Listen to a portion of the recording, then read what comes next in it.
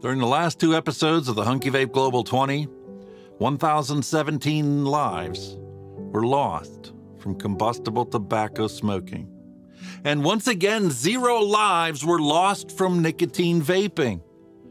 Combustible tobacco continues to kill one person every five seconds.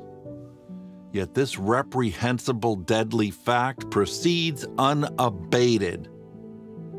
Demagoguery forces 17,280 people to die every day from smoking.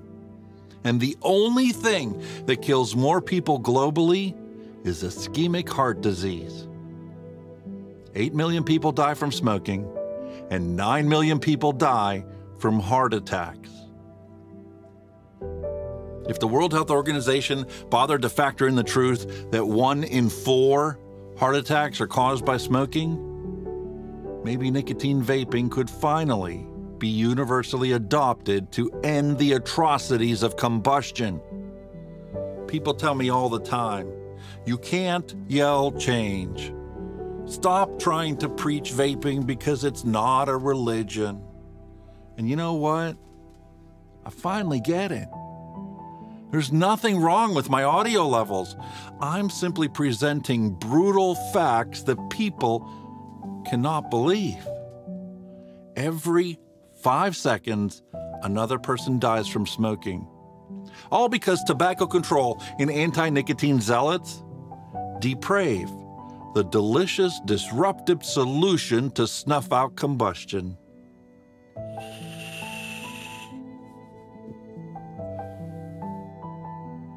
Over 70% of smokers already want to stop smoking. And vaping is not smoking. Vaping is a disruptive technology invented by a pharmacist because his father died from smoking.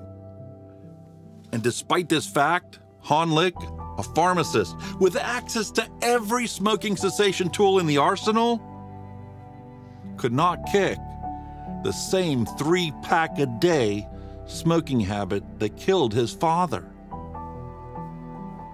Until he invented a combustion free way to smoke without smoke.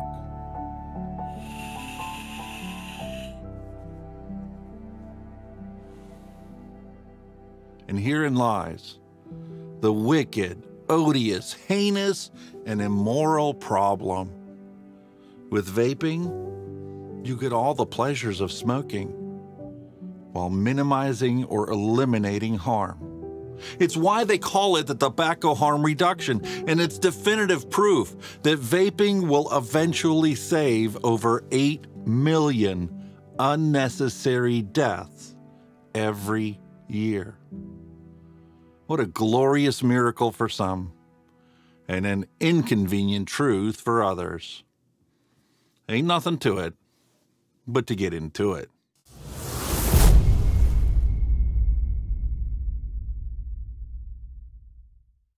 I'm DJ Alex, and this is your Hunky Vape Global 20 Vape Science Advocacy News for the week ending February 12, 2022. Hey there, folks. This past week has seen countless legislative bodies ramp up their political assertions to ban the single best way to accidentally quit smoking. And we'll get to that shortly.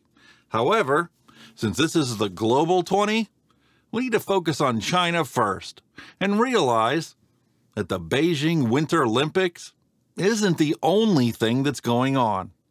One rarely talked about consequence of the USPMTA process and rampant regulations around vaping in other countries has been the increased need for empirical evidence of harm reduction.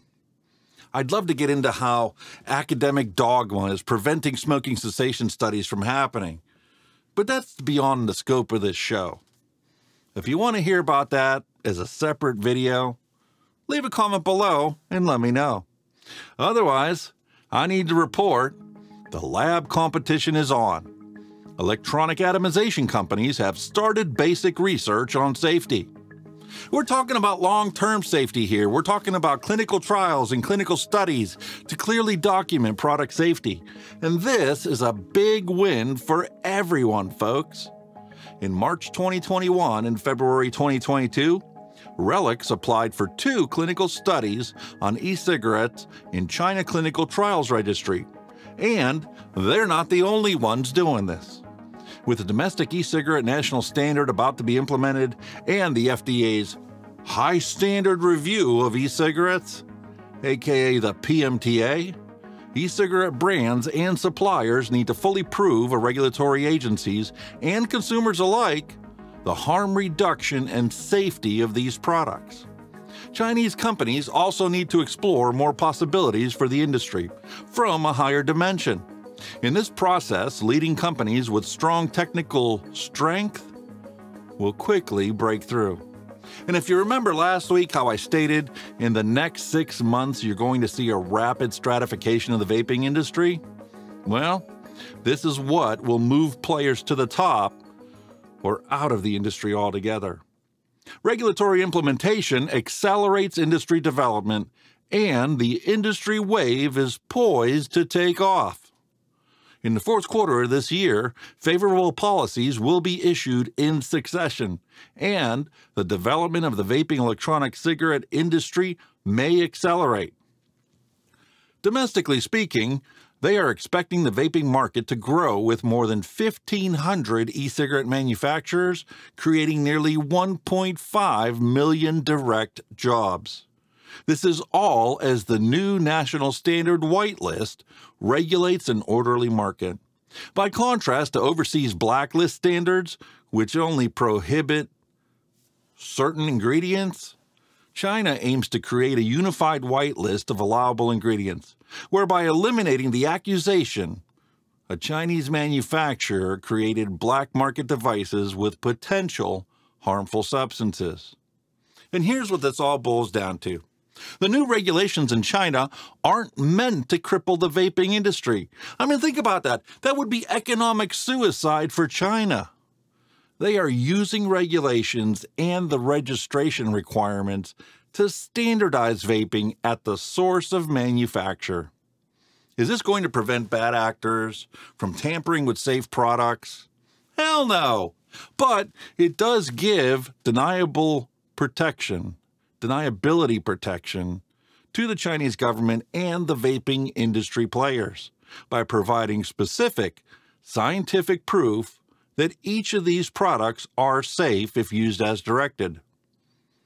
Is this standardization going to stifle the vaping industry? Well, according to this article, no, because e cigarette consumers continue to increase and the e cigarette industry attributes are closer to consumer electronics. Electronic cigarettes are not an electronic substitute for traditional tobacco in China, but a technology product with hobby attributes, which is more inclined to consumer electronic products. The particularity of this product determines the key points of competition for e cigarette companies in the next stage after the regulations are implemented. You know, I could go on and on with all these little details, um, but ultimately, the development of electronic cigarette industry focuses on innovation. In China's current e-cigarette market environment, brand owners with R&D and production capabilities can, on the one hand, strive for more market space in the future, and, on the other hand, are very motivated to absorb new technologies, which can ensure the transformation of improved scientific research results. Vaping technology products are like graphics cards and science in general. They're constantly evolving with incremental improvements. Innovation drives sales, and innovation drives favorable health results. Some say vaping has reached maturity. Well, this article states otherwise, and it makes perfect sense. Just imagine Tesla announcing that they've perfectly engineered lithium sulfur batteries or graphene superconductors, or let's say that you can charge devices now with ambient light collected from a newer AMOLED screen. As technology improves, it can and must be incorporated in the next iteration of all technology products. You know, just because some countries' regulations literally prohibit changing the color of the label without FDA approval, that doesn't mean technological advancements won't march on.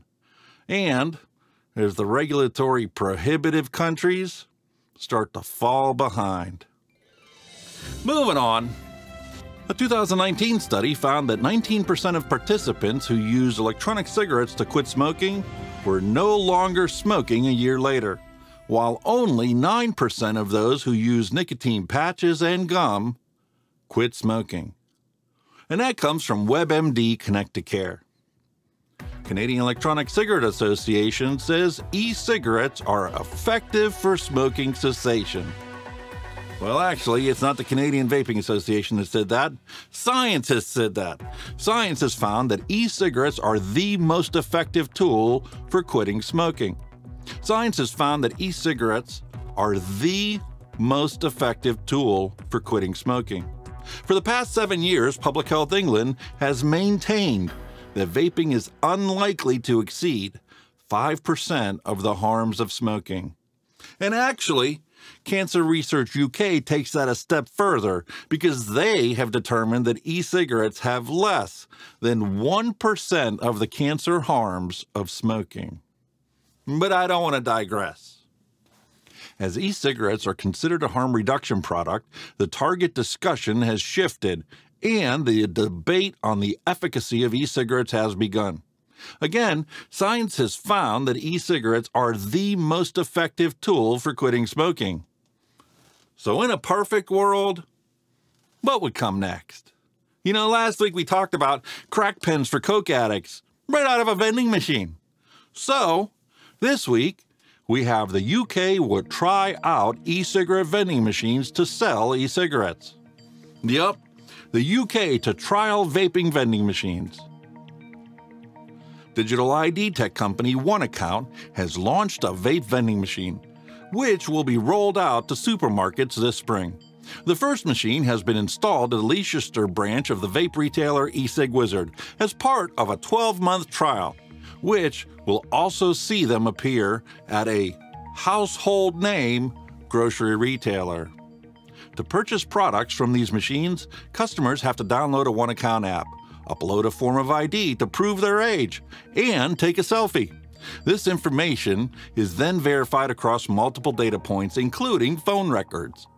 The desired product is then selected before opening the app and scanning a QR code on the machine to make card purchase, payments, and finally dispense the product. The use of vending machines for the sale of consumable products has grown significantly in the recent years as retailers better understand the demands of modern consumers.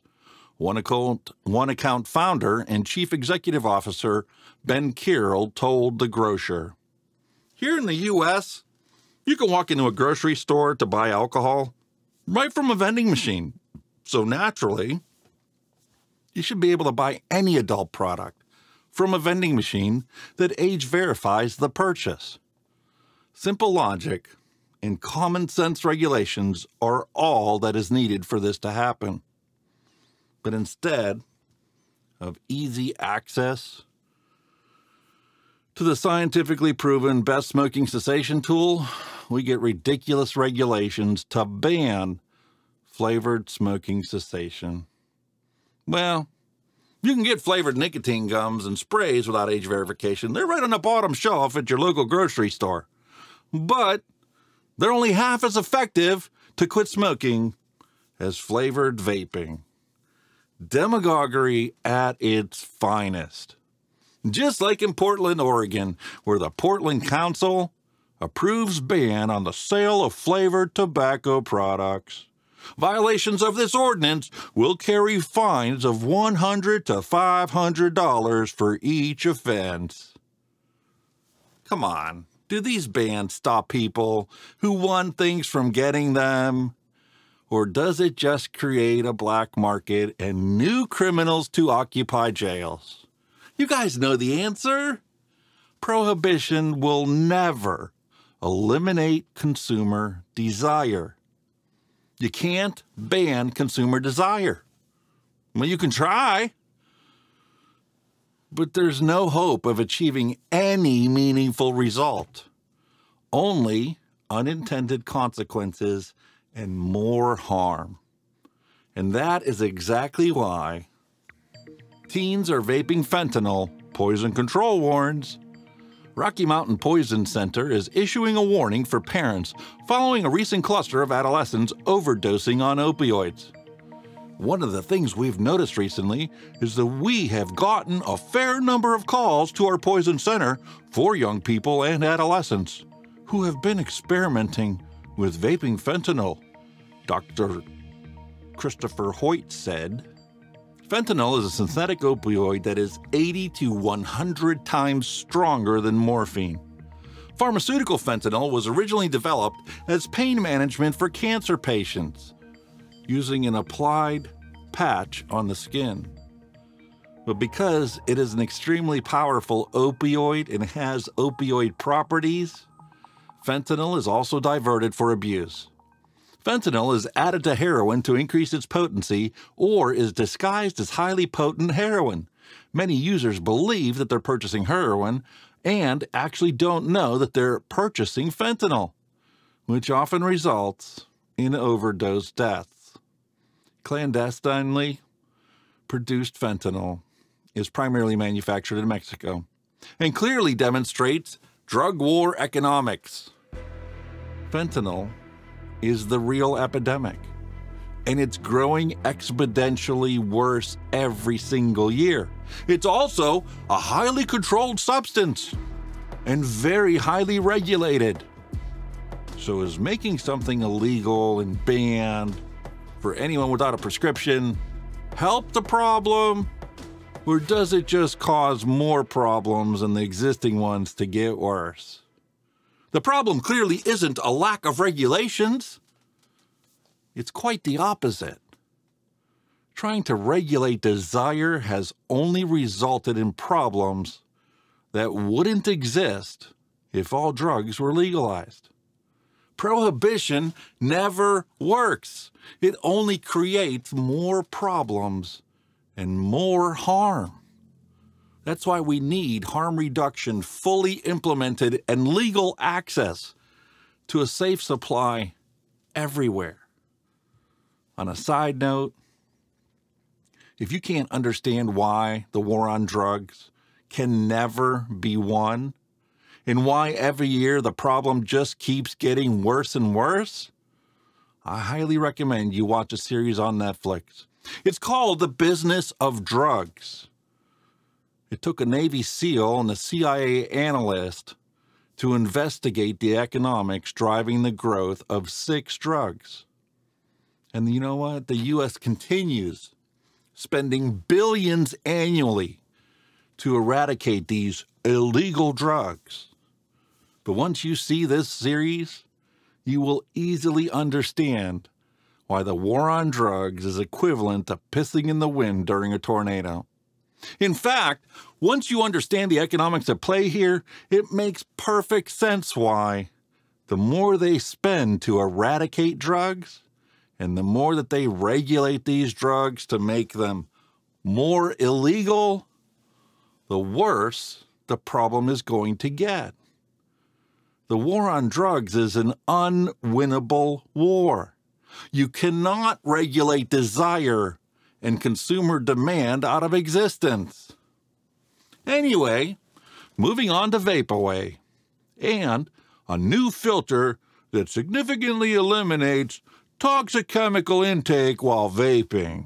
Just when you thought that the vape scene couldn't get any more ridiculous, along comes Vapaway, a company dedicated to creating a world free from the harmful effects of vaping announcing the first ever patented technology designed to help reduce vaping dependency. The Vapaway filter is specifically designed to attach to an existing e cigarette pod, automatically working to remove toxins found in e cigarettes, with minimal impact on the quality of the vape experience. The founder of Vapaway talks about his son and his six children.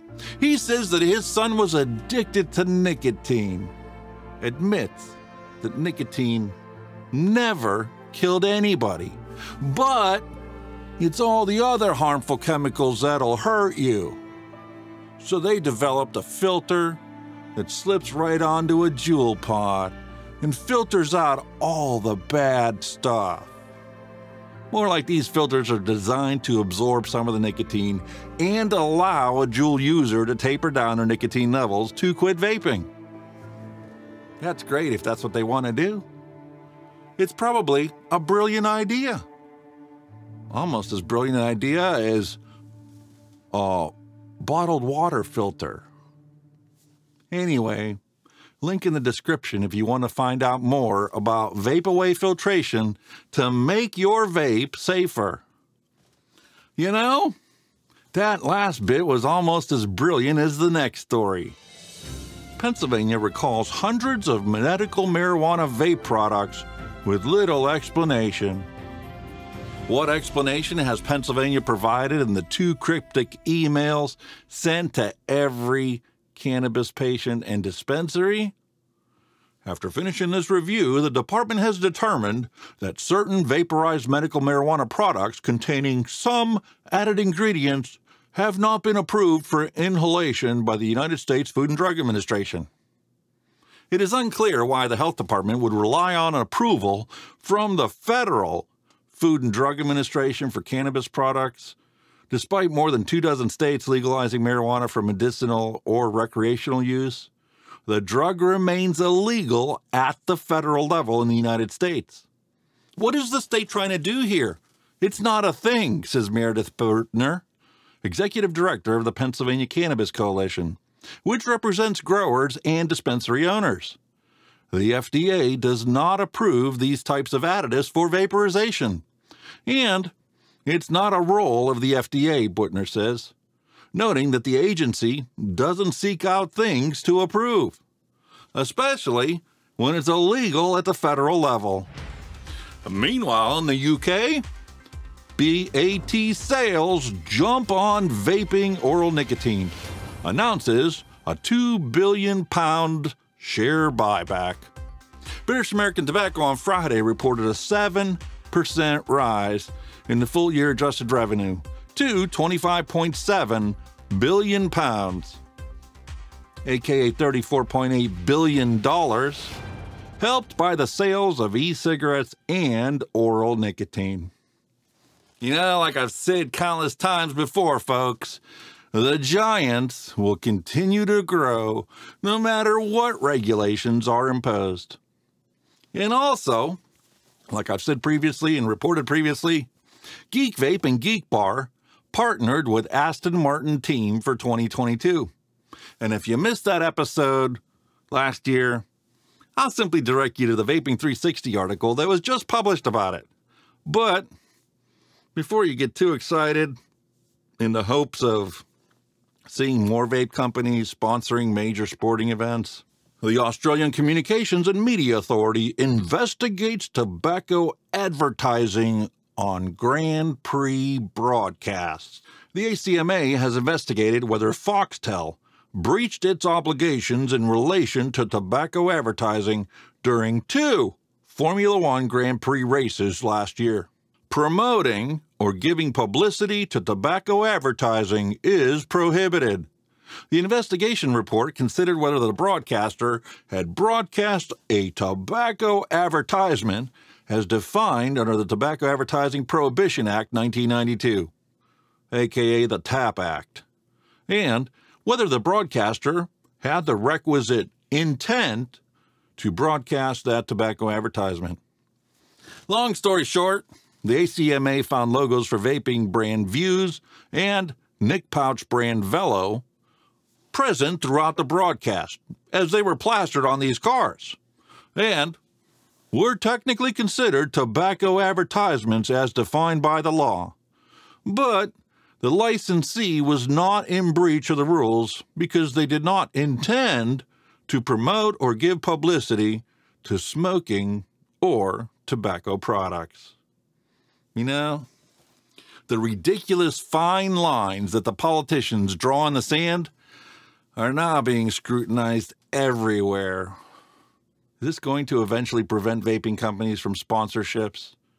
Or will they one day welcome these sponsorships like they welcome big pharma advertising dollars? You can't watch five minutes of TV without being exposed to a big pharma advertisement for some new miracle pill guaranteed not to cure you of your problems, but it will give you dozens of side effects while it minimizes your, pray, your pain or your symptoms. Whoops. Anyway, leave a comment below and let me know what you think about the situation here in Australia.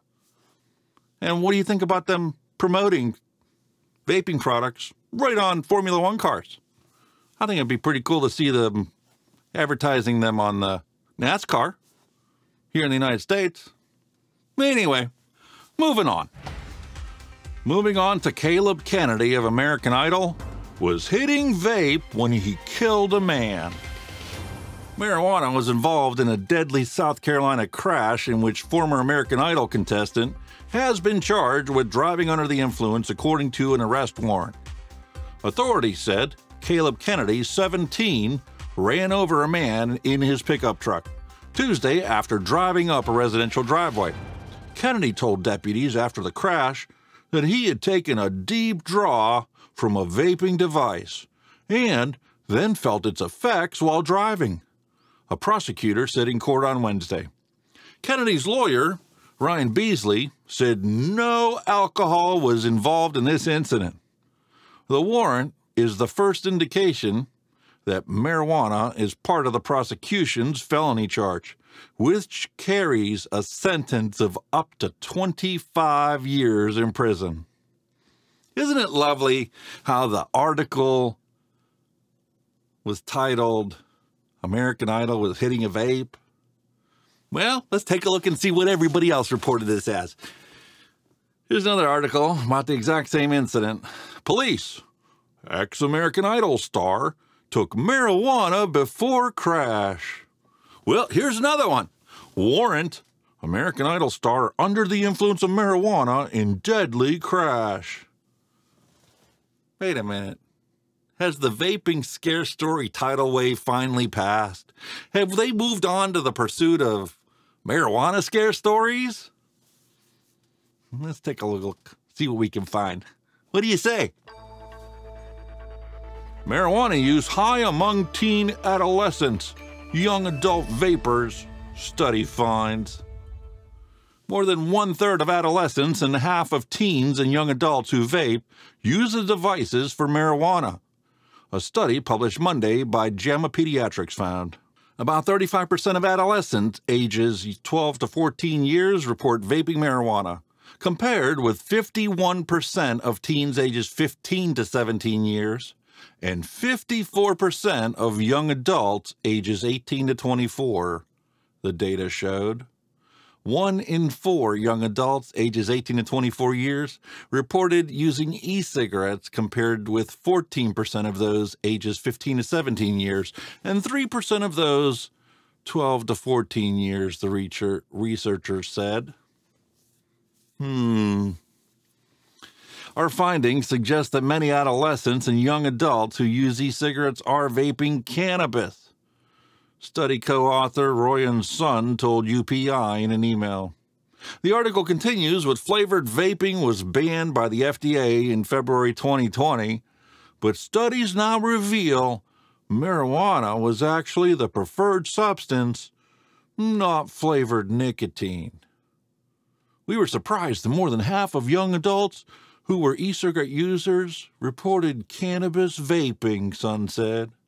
Furthermore, some of these e-cigarette users, about 10%, reported vaping cannabis every time they vaped, she said.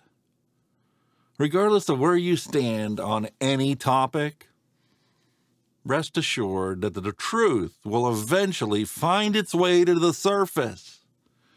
The only question is, Will it be picked up and used for additional propaganda, for additional regulations, or will it be used to correct the overregulation from the last moral panic scare? Just like in Indiana, where last year they implemented a 25% wholesale tax on vaping products. And if nothing changes, well, prices will be going up full, as it's fully implemented starting in July. Well, now, health advocates fighting plan to cut Indiana's vaping tax. Indiana House Ways and Means Committee on Thursday discussed lowering the tax to 15%. But the American Cancer Society said vaping tax, device tax should be 20% to be in parity with Indiana's 99.5 cent per pack cigarette tax. Groups representing e cigarette retailers said that lo- the lower tax rate is going to be needed so that Indiana's e cigarette tax was closer to the rates in neighboring states.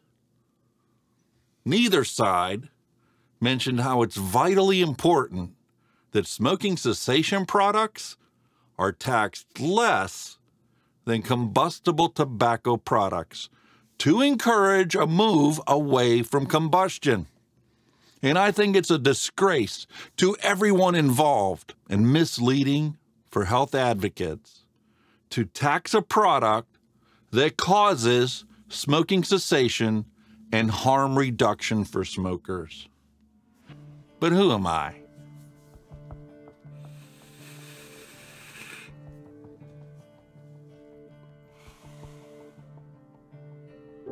You know what? Don't ever elect me to any office that controls harm reduction or taxation, because I would always side with the greater good. And if I had my way, would ensure the vaping products were not only more readily accessible, but always cheaper than a pack of cigarettes.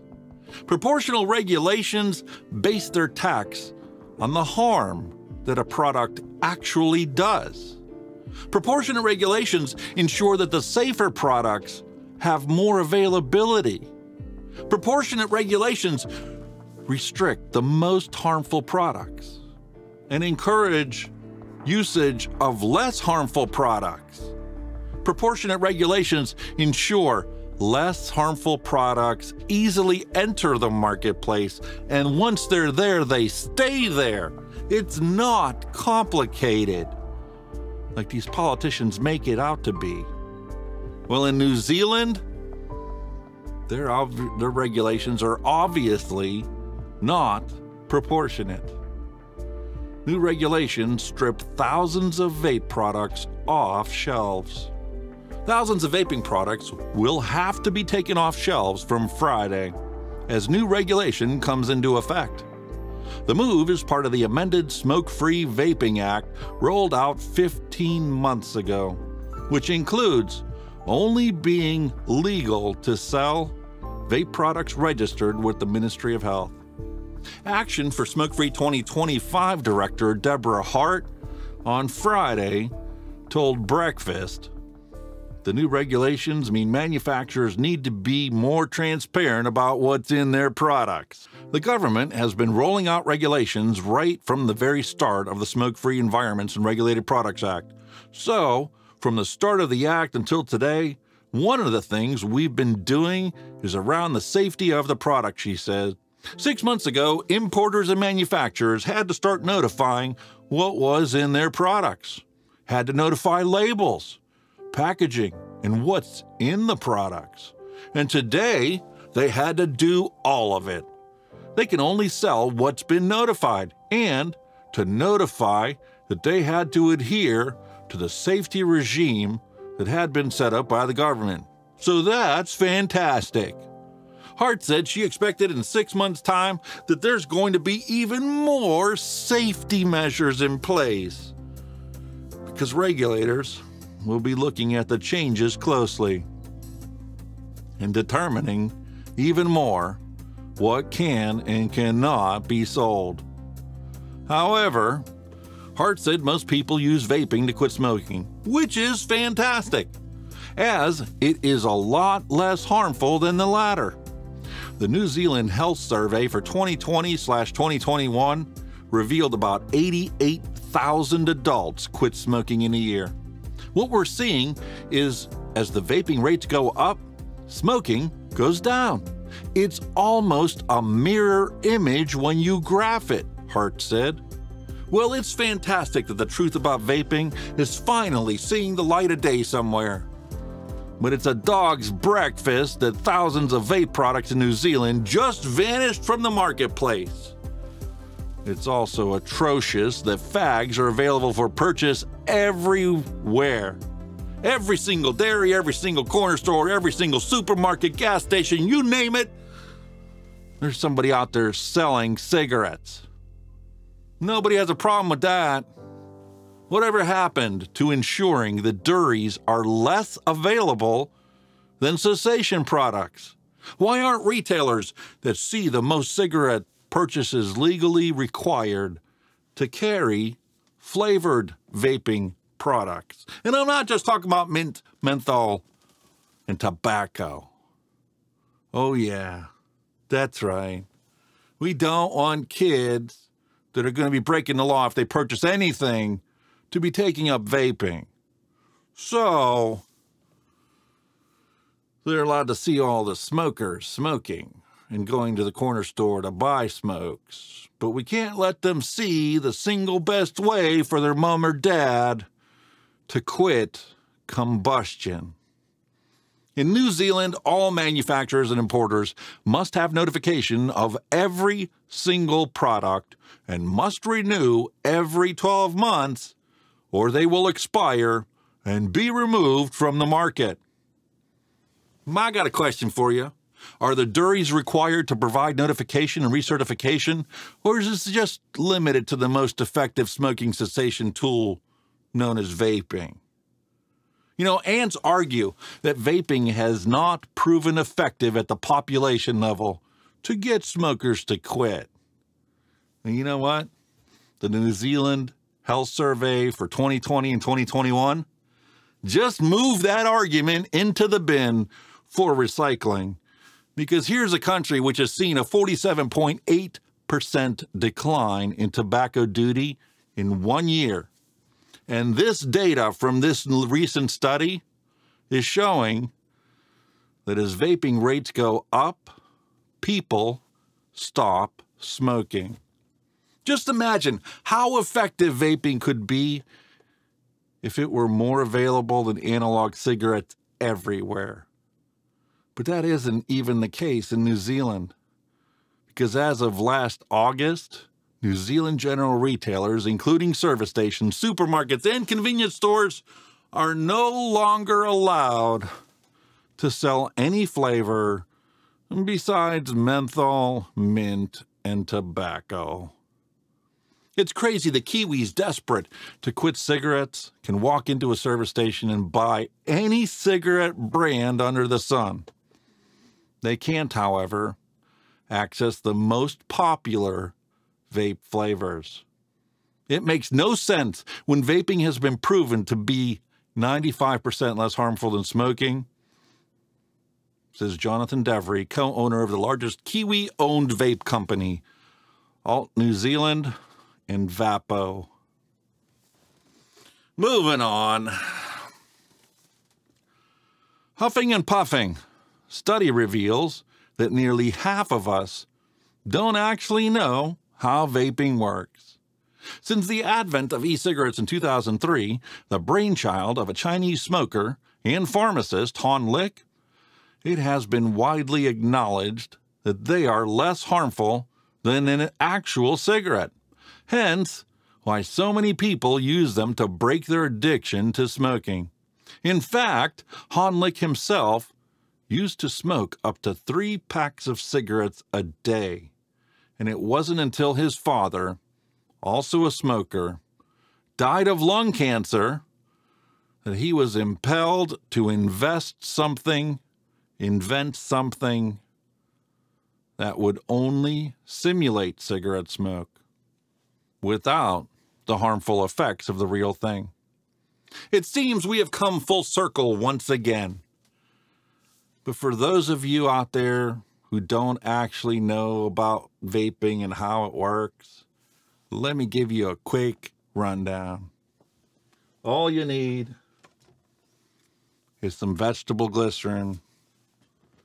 About 75% of a bottle of e-liquid is made up of vegetable glycerin, scientifically proven to be safe.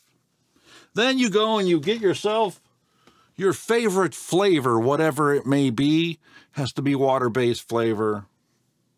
No oil is ever in any nicotine vape. I guarantee you that because it will not mix. Oil and water do not mix. Fundamental science should teach you that. And you put about that much of it into this whole bottle. About 10%, maybe 15% if you're really pushing the flavors or there's a lot of different flavors in there. And then you simply top it off with some propylene glycol. And that's it. That is exactly what is in this nicotine-free e-liquid. And that is exactly what's in all the nicotine-free e-liquids. It's not rocket science. If you're a smoker and you want to quit smoking, well, you're obviously going to need nicotine to make up for the nicotine you're not going to get when you stop smoking. For me, when I quit, the nicotine concentration in my e-liquid was 0.6%. That translates to 6 milligrams per milliliter. And then you just taper your way down until you're nicotine free, if that's what you want to do. Or if you're willing to accept the minimal risks that come from the flavoring agents, because science has already proven that VG and PG are safe for inhalation. And actually, most of these flavors have already been proved safe for inhalation. You can keep doing what you're doing and enjoy it. That is the wonderful thing about vaping. All of these ingredients have been individually proven to be safe for inhalation. But it took Hon Lik to discover how to smoke without smoke. It has all the pleasure of smoking and almost none of the toxicity present from combustion. What a glorious miracle for smokers, and what an inconvenient truth for others. Well, that wraps up the Global 20 Vape Science and Advocacy News for the week ending February 12, 2021. You know, I sincerely hope that all of you have a very happy Valentine's Day. Know that each and every one of you out there fighting a good fight for harm reduction is loved and appreciated for all your hard work. I also want to thank all of you for your thoughtful comments that you put on these videos. In my heart of hearts, one day, vaping will completely replace combustion. So until next week, please be good to each other and keep on vaping.